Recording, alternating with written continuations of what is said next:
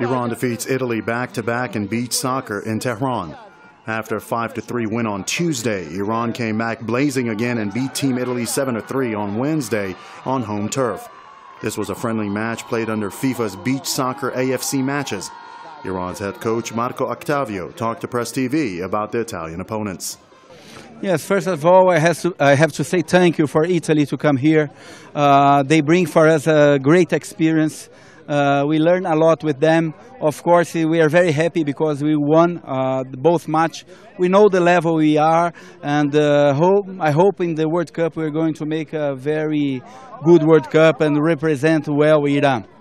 Iran came out on fire and used their team tactics to find opportunities to crack Italy's defense and score back to back. Both team captains talked about the importance of this match.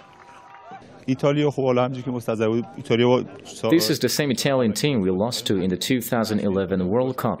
This is also the same Italian team that beat the World Cup defending champs Russia a few weeks ago. The team that we have now is very strong and cohesive and is a team that will surprise many in the upcoming World Cup. Iran prepared very well, and we haven't practiced that much. We are just starting our training camp for the World Cup. All eyes will now be on the 2013 FIFA Beach Soccer World Cup, which Russia is the defending champion. Standing right here with the team captain, Ali Naderi, and he's explained to me early in January of this year, Iran won the 2013 FIFA Beach Soccer AFC qualifier. Now, with that win, they won in Doha, they beat Japan.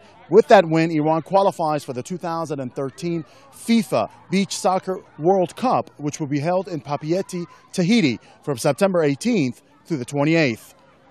Reporting for Press TV, Amir Hossein Eskandar in Tehran.